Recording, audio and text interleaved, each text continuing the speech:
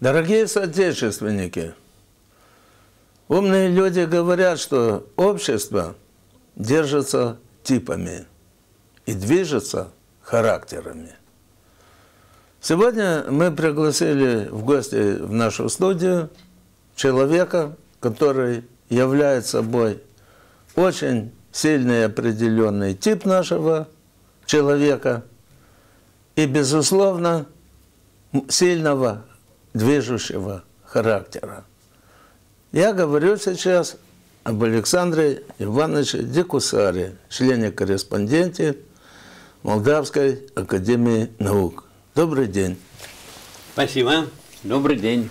Александр Иванович, вот э, мы говорим о типе, мы говорим о характере.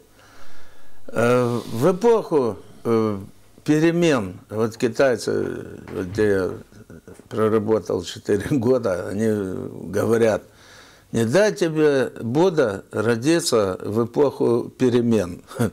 Значит, э, конечно, нельзя сказать, что вы родились в эту эпоху, но то, что ваше, скажем так, э, основное становление уже как полной, законченной, завершенной личности, хотя это происходит, никогда не заканчивается этот процесс, произошло именно вот в эту эпоху становления. Нам говорили, что вот э, весь старый э, мир мы разрушим, порушим. Это уже, по-моему, лет сто назад слышали.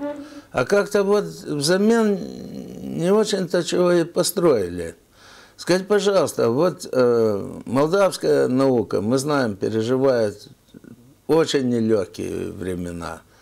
Э, молодежь не хочет идти в науку, поскольку не видит для себя будущего в этой среде, скажем так. Э, много чего печального.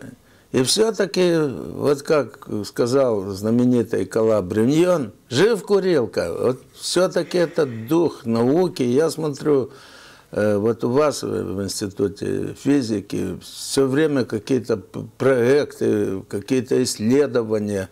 И даже э, сорока на хвосте привела, что вы необычный ученый, исследовательный, узкопрофессиональный, а вы еще занимаетесь тем, что изучаете тренды современной науки – и даже изобрели какой-то коэффициент, исходя из которого, несмотря на все гонения, э, наша молдавская наука продолжает существовать.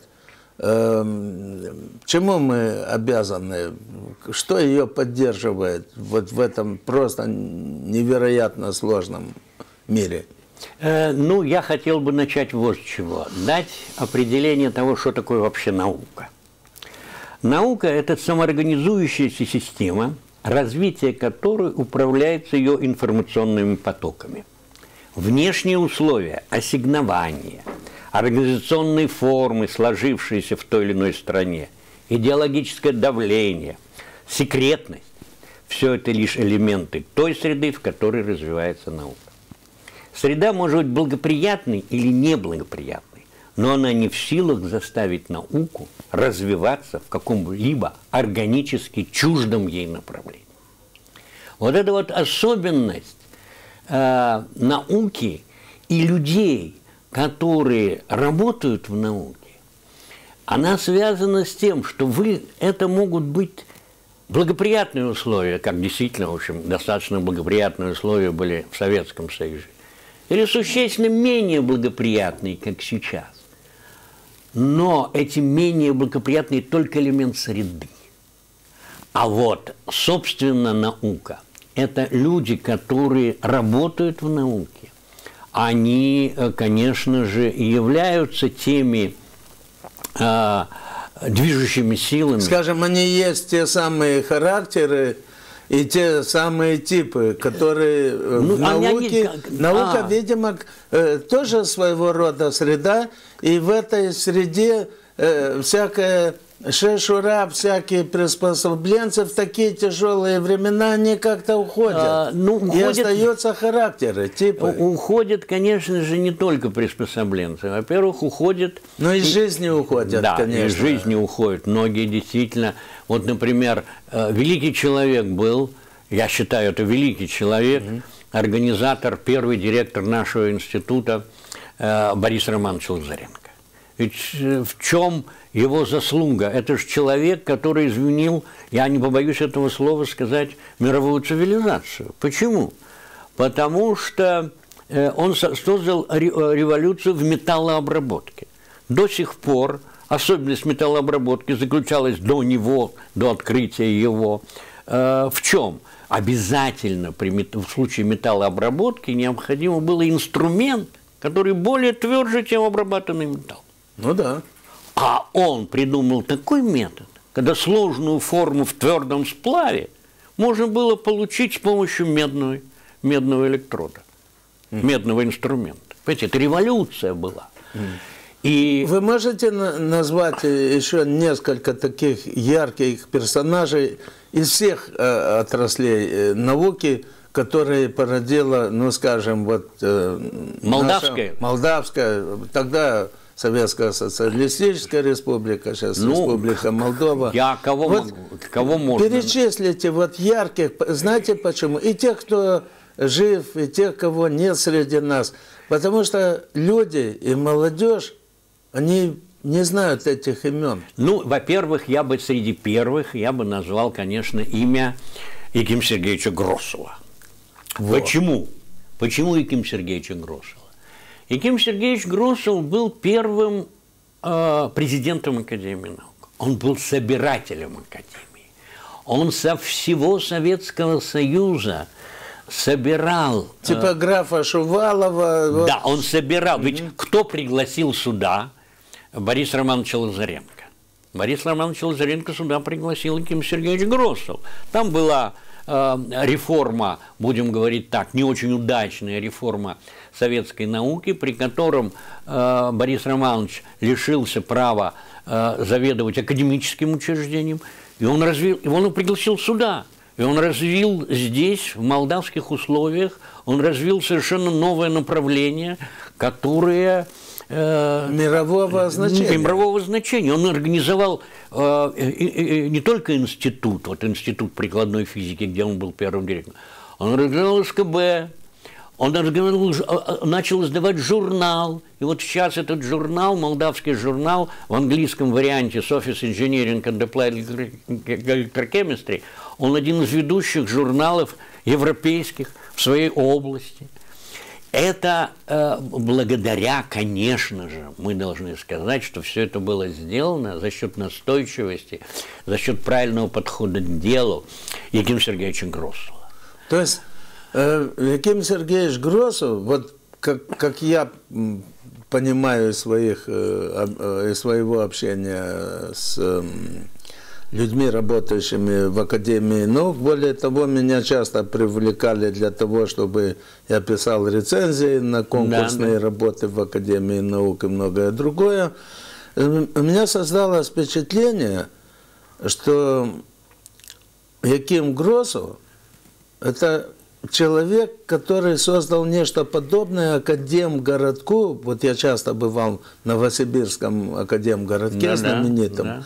Где, между прочим, именно э, знаменитый Буткер придумал, вот сейчас все эти коллайдеры, супер, вот столкновения да, частиц, да, да. идея Буткера, она родилась именно в Академгородке Новосибирске. И поскольку я там часто бывал, Э, вот чувствуется, что Гросу он создавал именно Академгородок, потому что это не только э, институты, лаборатории, значит, он, во-первых, как-то выделил отдельное место. То есть эти люди где-то жи, жили и продолжают жить вот в зданиях, Э, построены, имеют возможность общаться с друг с другом. То есть он создал вот какую-то вот такую потрясающую ментальную среду вот, э, для проживания вот этих э, людей. И очень печально, что улица академика Гросула э, как-то вот испарилась в небытие. Это, это что такое? Это беспамятство человеческое? Или это какой-то приговор тем, кто это сделал? А, Что это такое? Мне трудно ответить на этот вопрос. Ведь была же улица этого великого человека. Да, мне трудно ответить на этот вопрос. Ну, в общем-то, сейчас она Вы говорите, академическая. что Академия сражалась, порядочные да, люди конечно, в Академии сражались. Насколько мне известно, да. Э, Против этого выступали. А кто, а кто в основном выступал? Наверное, наверняка гуманитарий. э, Я не знаю. мне, Я, нет? это, это, историю этого вопроса я не знаю. Я не являюсь экспертом. Но то, я что хотел- защищали, это. Защищали, да. Это точно совершенно. Кто не могу сказать. Я э, хочу, вы задали мне этот вопрос, я хочу все-таки продолжить еще. Да, Кого-то имена, еще имена, имена. Я бы, конечно, назвал имя Антона Васильевича Аблова. Аблов. Да, Аблов. Это крупнейший, это крупнейший химик, специалист в области химик, химии комплексных соединений того времени. Он создал целую школу. Ведь Берсукер, Да, Берсукер. да, Берсукер, да, Берсукер. Бер- знаменитый Берсукер, он родился в школе Антона Васильевича Аблова.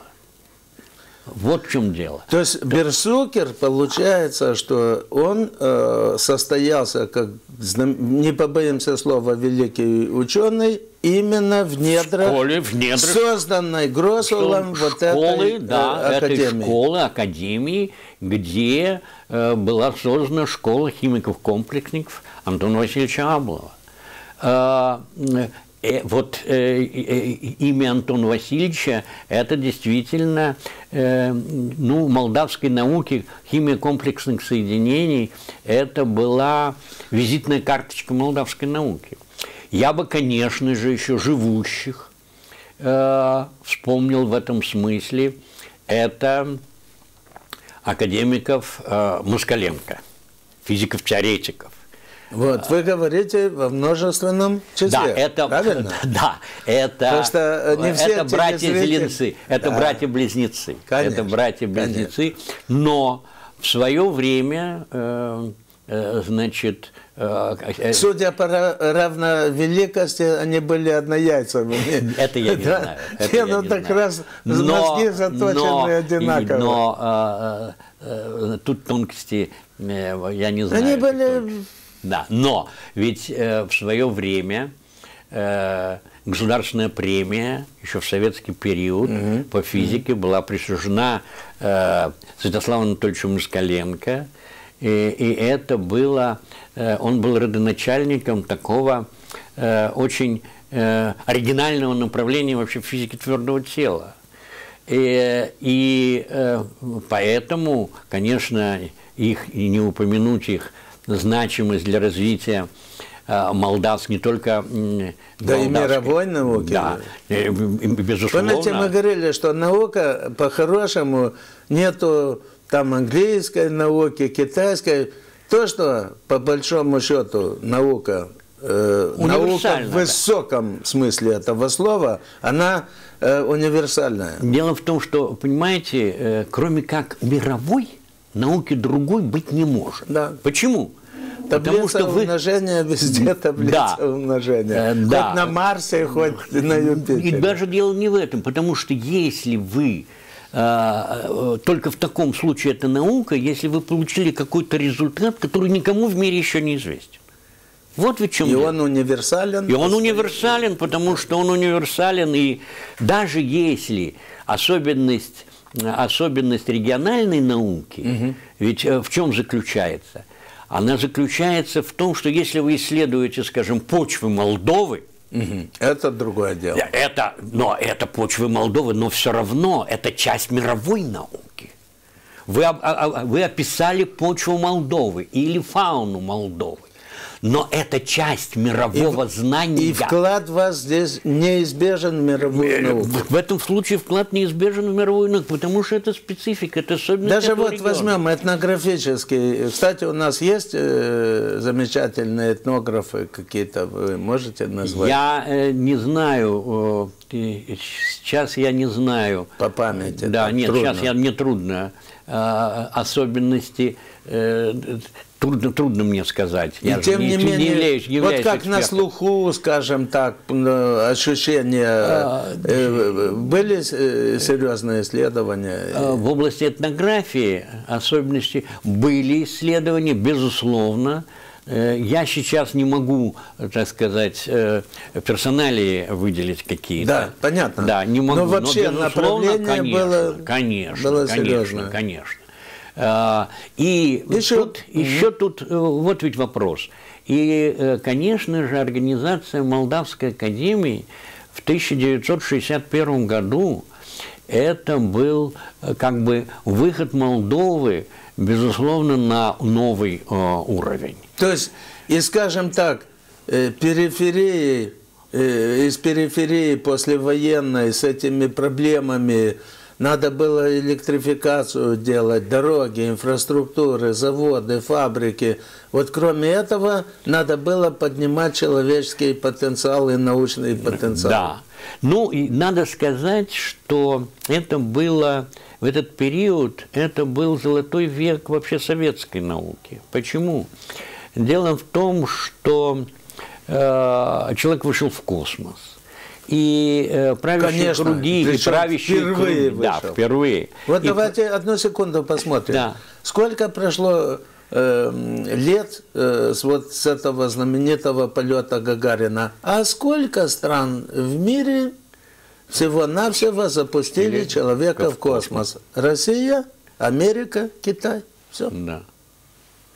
Да, То есть это так. сильнейший показатель. Безусловно, безусловно. И власть придержащим было продемонстрирована колоссальная роль науки. И вот благодаря этому наука развивалась и не только в центре, а наука развивалась на периферии Советского Союза. И активное развитие науки произошло и в Украине, и э, в Прибалтике, и в, э, в э, среднеазиатских республиках. Сибирь, вон Новосибирский Да, академгородок, мы говорили. Это фантастика. Конечно. Коллайдер обязан академгородку. Да, да, да, да. И вот это, э, э, но этот золотой век кончился. Этот золотой век кончился. кем он кончился? После разрушения Советского Союза, после разрушения Советского Союза, кончился золотой век науки. И не И воз- только как бы во всем постсоветском пространстве, но и в каждой республике Естественно. И возник вопрос, очень важный вопрос. А, Если очевидно совершенно, что наука нужна в странах, необходима в странах лидеров, а нужна ли наука в таких малых странах, как Молдова? И какая наука нужна в таких странах, Вы, как за- Молдова? вы сейчас власть придержащим фактически и всему нашему обществу, потому что какой народ, такие власти, вы задали два сакраментальных вопроса. Повторите их, пожалуйста, чтобы наши дорогие соотечественники внимательно, со всем вниманием выслушали. Повторите вот эти два вопроса. Первое. Нужна ли наука в малом государстве? И второй вопрос. А какая наука нужна в малом государстве? И на этот вопрос у меня есть ответ. Это, конечно, мой ответ на этот вопрос. Первый ответ – да, необходима и нужна. И я могу его обосновать. Почему?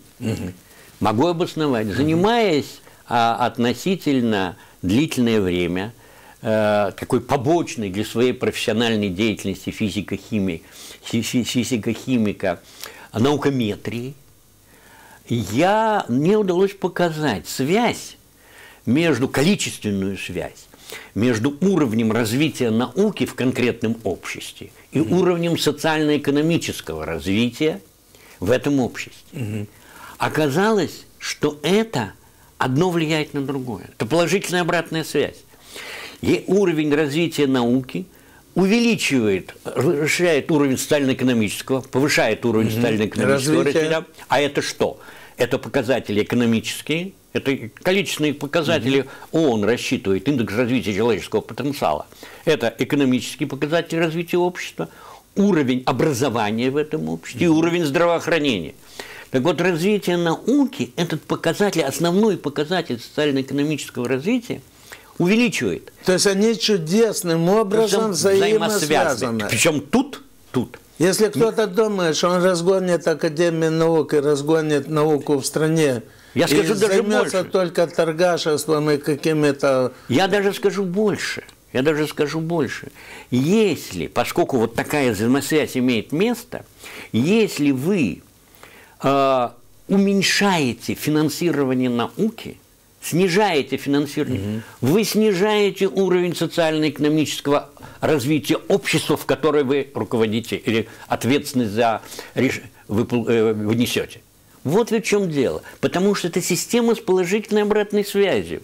Какие- Но это означает не только ведь, это означает не только наука определяет уровень социально-экономического, но уровень социально-экономического определяет уровень То развития есть науки. типичное для нелинейного, а кибернетического Совершенно мышления здесь причина и следствие находятся в диалектическом единстве. Абсолютно Вот точно. то, чего не понимают Абсолютно чиновники точно. и, Абсолютно и- точно. и политологи. И это болтуны. прекрасно понимают, это прекрасно понимают в Европе. Европейский Союз в- э, просто законодательство 3% от ВВП выделение на, на науке. 3% от в- в- То есть внутреннего- норма по Евросоюзу. Но- Норма по Евросоюзу. Хочешь 3%. больше, пожалуйста. Да, 3% от ВВП. И вопрос, что если даже в условиях кризиса стоит вопрос, что сокращать, ни в коем случае не сокращать науку, потому что выйти из кризиса можно только благодаря науке. Вот оно как. Вот.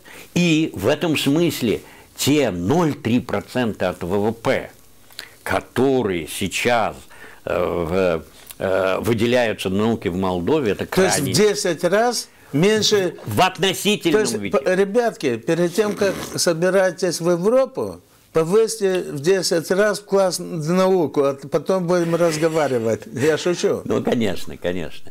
Вот и непонимание, кстати, э, вот это в свое время э, в Кодексе науки была введена норма 1% от ВВП к определенному году. Э, э, Александр Иванович, э, я вот хочу сказать нашим дорогим телезрителям, что вот эта идея об одном проценте, автор ее сейчас сидит перед вами. Это Александр ну да, в Иванович общем, так я, да, да, так оно И было. потом она была закреплена. Она была закреплена в законе, и При- закон при- остался. При президенте Владимира Николаевича Да. Воронина, я помню, Март Качук очень серьезно занимался э, Да, этим да, да, да, да, вопросом. да, да.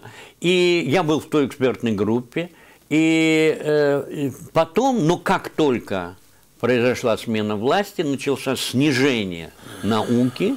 И, кстати, к первый, кто То есть был, после Майдана науки... да, снижение произошло, максимум, чего достигли к тому времени, это 0,7% То есть ВВП. э, уставка была на 1%, Цент. Подъем пошел, шел, До 0,7. 0,7 дошел, после Майдана все грохнулось. До начался- 0,3%. Начался регресс, вот Да. тот 0,3. А, пришли ребята, которые за Европу, и в результате этот показатель довели до 0,3, да, 1 десятой от 0,3%. европейской, Да, да, да, среднеевропейской. среднеевропейской. Браво. Да. За что боролись, на то Да, и напоролись. но э, э, я просто об этом надо говорить, потому что... А от- что за разговорчики были в строю, вот когда эти майданщики, и те, кто за ними стоял, Да. пришел к власти, что я ж помню, там выскакивала эта госпожа, э, как ее профессор эм, э, Гуцу, Анечка, Да. что там чуть ли не вообще тут разогнать все надо, что-то академию, что принцип, я помню ее логику, это логика тех, Да. кто за ней стоял, кому земли академии, Да, там да, да, здания пон- очень понравились. Логика была потрясающая. Вот у нас с сельским хозяйством дело плохо, закроем сельхоз э, э, университет. Ага. Э, что с техникой там не ладится, давай политех закроем. а если еще где в медицине дела, давай. То есть логика была, ну какая-то, вот мы говорили сейчас про вот эту логику обратных связей. Да. Вот то, что вы говорили, что наука и развитие общества, да, взаимосвязаны. Они взаимосвязаны, это единое целое. Да. А тут прилагали что? А раз плохо дело, дай-ка закроем. А там что-то не так, разгоним. Вот что это за ущербная логика? Э, за ней явно просматривается и материальный интерес. У, сколько земель в центре города, зданий там и многое того. Ну, Виктор. Не, не без этого, думаю я. Мне трудно комментировать. Я единственное, что могу Нет, сказать... Я вас не ставлю да. в неловкое положение, да. но мне проще, потому что я, я, э, как говорится, член э, иностранных э, академий. Вот, например, да. недавно избрали, вот говорил, ученый Совет Института философии Российской Академии Наук. Ага. Но когда я помню, избирался здесь, я помню, я тогда улетел в Штаты в 93 году, и это, когда вернулся, Сергей Иванович говорит, вот выставляли твою кандидатуру в член коры, меня не угу. было. Из 20 человек 15 проголосовало за тебя, ну, по угу. отделению. Ну, говорит, извини, родной, ничего не вышло. Вот. Ну, я сказал, ну что, у нас что, мало чудес угу. э, бывает. И как-то вот у меня так получилось, что вот с иностранными академиями, не только с... У меня как-то дела нормально обстоят, а тут как-то на месте странно.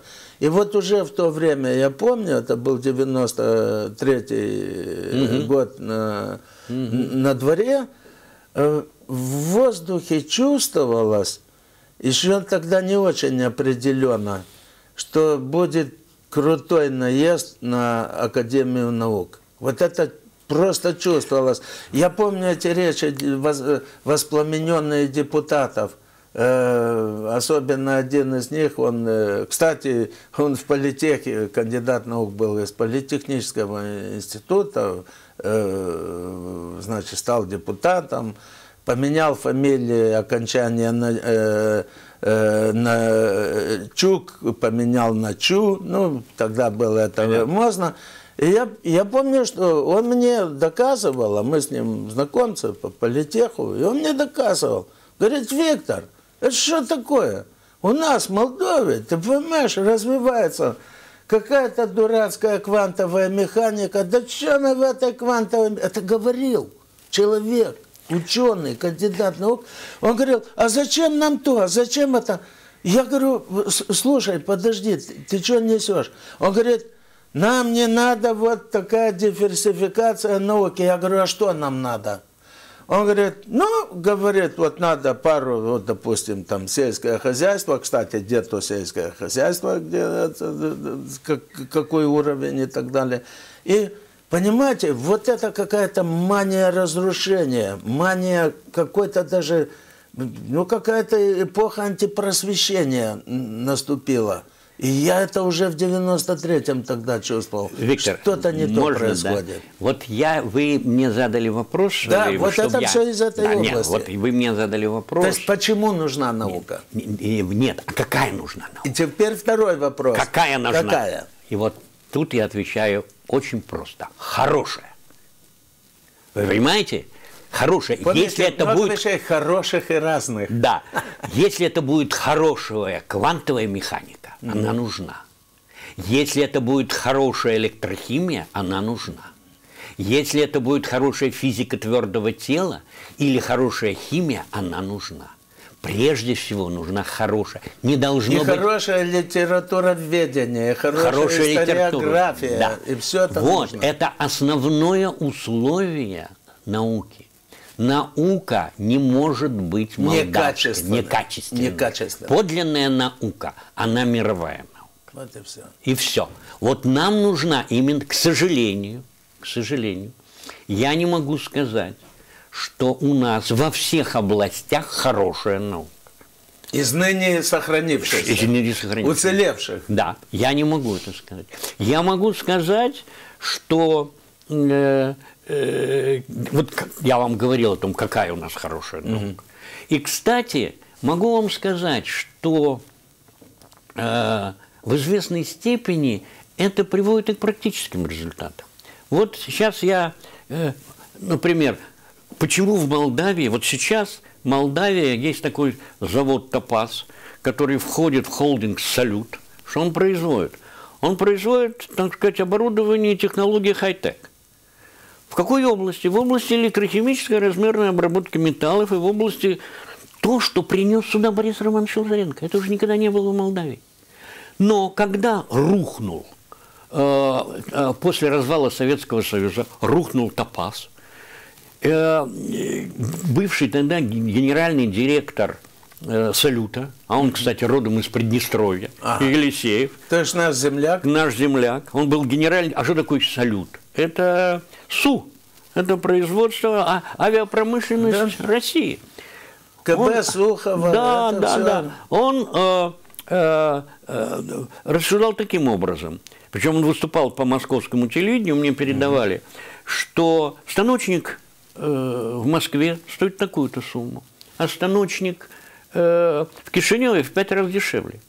Так проще размещать простейшие заказы в области металлообработки в Шеме и возить потом это, это экономически выгодно. Никакой политики. И мало того, базу еще не раздеребанили, не, раздеребанили, не А потом решили, простите, но там же есть лаборатория электрохимической размерной... Следующий шаг. Следующий шаг.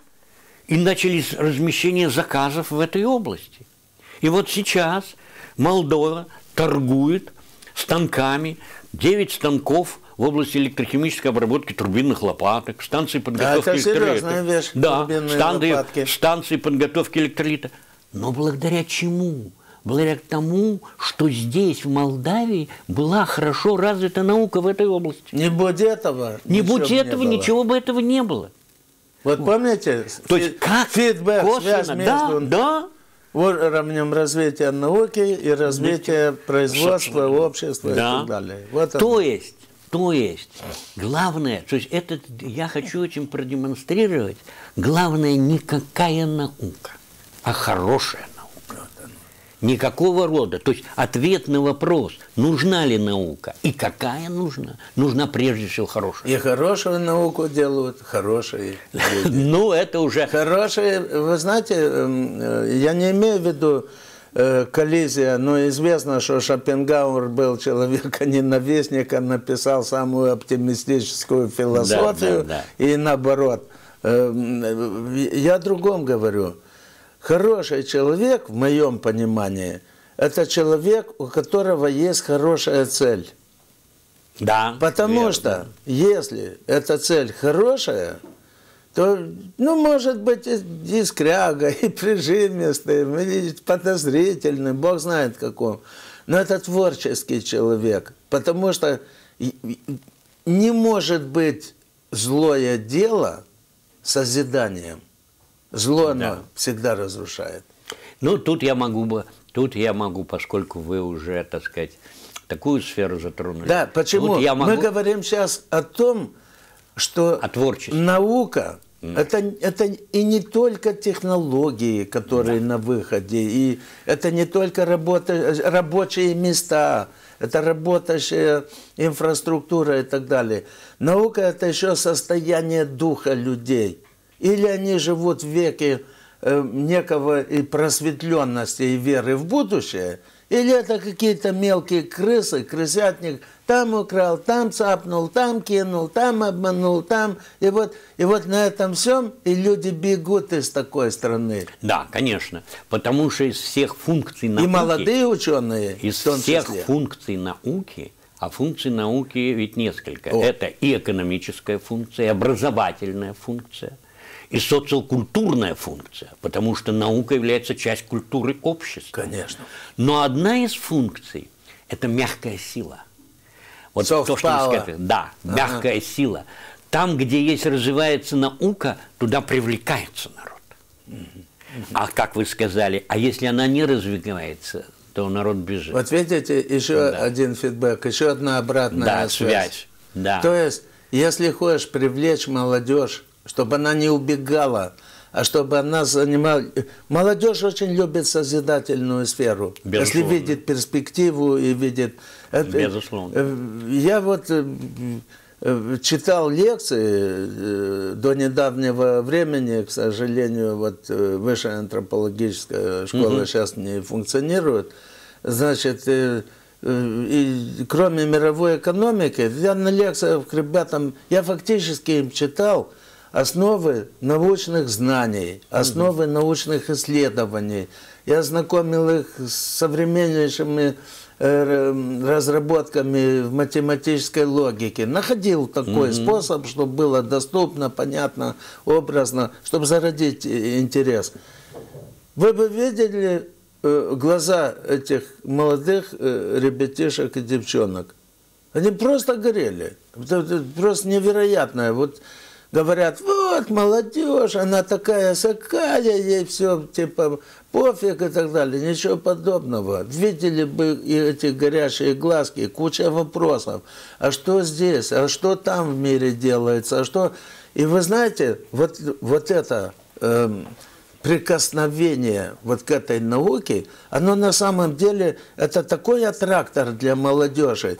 И если бы государство вот с этими вороватыми чиновниками и проходимцами возле, возле той же и науки, и возле культуры, если то.